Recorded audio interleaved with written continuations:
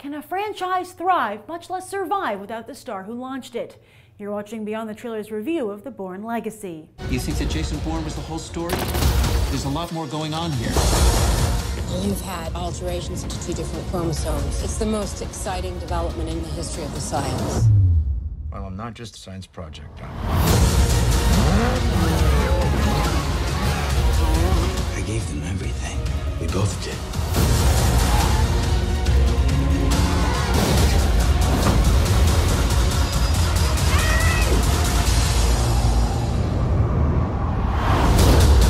Was never just one. Yes, Universal would love to sell you on the idea that assuming the government created just one near superhero agent is downright silly.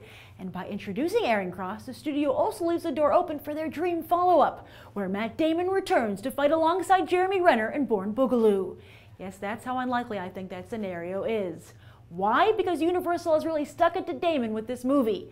First, they refused to rehire director Paul Greengrass, even though he'd helmed the wildly successful Supremacy and Ultimatum and was Damon's preferred choice for a fourth film. So much so that Damon said he would not make another Bourne movie without Greengrass.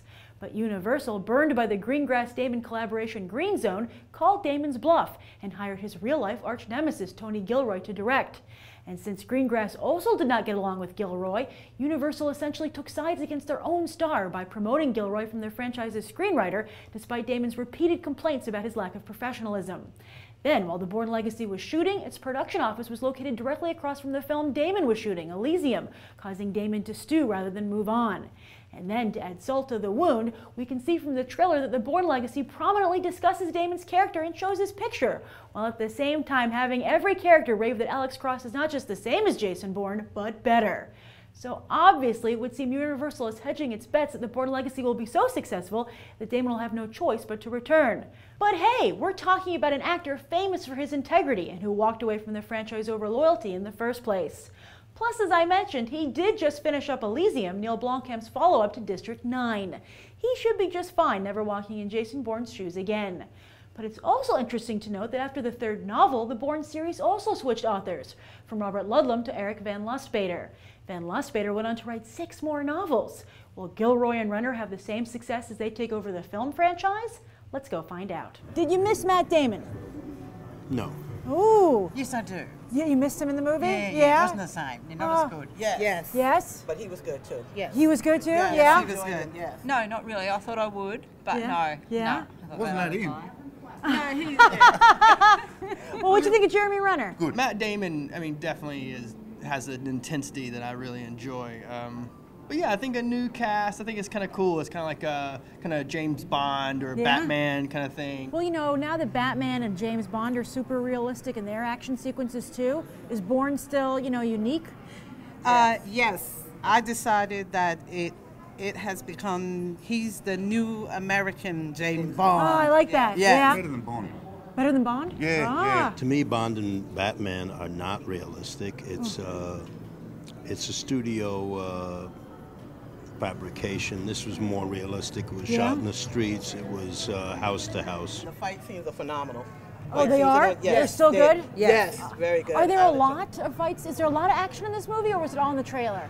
No, no, it was a, lot, of action. in- The original Bournes was a lot of like fight sequences that I didn't see as much in this. It was like him beating up like bat, like just police officers, which wasn't as I was expecting him to have to fight that that Oh. Larks. Oh, you mean like he usually has to fight another agent? Yeah, Right? so that was kind of yeah, that was so kind they of gave him some easy fights the first yeah. time Yeah, He kind of jumped on like you know some fat. you know. Universal wants them to pair up in the next movie. Told you. That's what I said. We yeah. knew it was coming. Yeah. What if they don't? Will you continue to watch Renner? This new guy? Yes. Yes, he was an excellent substitute. Oh wow. His character's not as good as the other guy. Oh okay. Yeah, so. I would come and see another one. You Yeah. know, I would just hope that they would pump it up, make it a little darker, make it a little more like, you know, you know, Yeah. special agent kind of More stuff. Bourne. So, what do you say to someone who's on the fence about seeing this movie because it doesn't have Matt Damon in it? No, go and, go and see it anyway. I too am a Matt Damon fan, but uh, the other person did excellently, and I oh. would go see the movie. I wasn't expecting it to be as good as Yeah. the original, but this was very good. If you're a fan, you should see it because then you kind of get the whole. You need you get the whole collection. It's like a collector's item, right? Oh yeah. What do you give the movie on a one to ten? Oh, I'd give it about a six. Right. An eight? Yeah. An eight? What are you giving it? Yeah, an eight. Nine. Nine. Nine? Nine. A seven or eight. It's a close call with some people, but it looks like overall Jeremy Renner's first mission is a success, with audiences giving The Bourne Legacy an 8. I'm Grace Randolph reporting from Regal E-Walk, and I hope we'll go beyond the trailer for these other top movies.